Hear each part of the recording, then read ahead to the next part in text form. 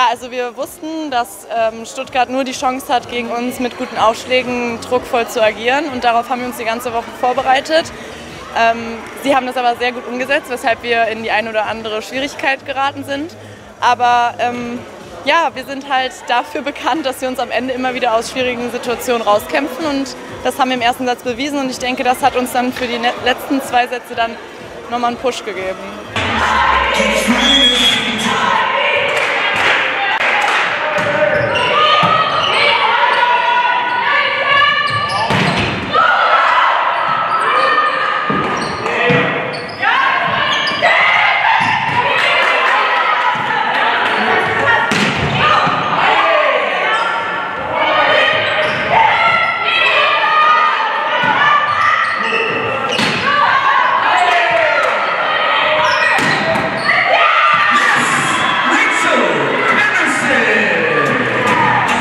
Es war schon bewusst, die können auch Volleyball spielen und die haben dann sehr, sehr gute Fortschritte gemacht zum, zum Saisonbeginn, aber auch jetzt schon ähm, vom, vom ersten Spiel.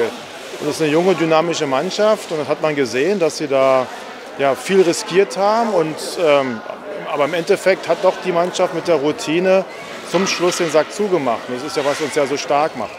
Und dann hat man, denke ich mir, schon gesehen, dass im zweiten, dritten Satz, ja, dann geht dann schon ein bisschen die, diese Konzentration bei denen verloren hat, dass sie das, also das Level, was sie spielen könnten, eigentlich nicht halten können. So, und wir haben uns dann immer mehr ins Spiel hineingefunden halt und dann eben auch eine gute Leistung abgeliefert. Auf jeden Fall ein besseres Spiel als beim Hinspiel gegen Stuttgart. Jetzt habt ihr nächstes Wochenende Doppelheimspielwochenende. Wirst du das Training dann entsprechend anpassen für das Doppelheimspielwochenende?